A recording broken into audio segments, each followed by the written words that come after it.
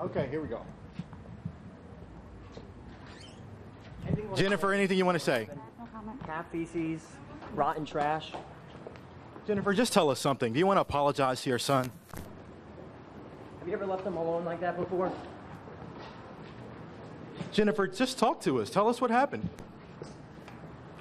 Do you love your son? Do you, do you love him at all? Have you gone out drinking before like that? Left them alone? Jennifer, we just want to know if you love him. Is he okay? Do you care that he was home alone like that for all those hours? Or do you deny that he was home alone? You have no comment at all?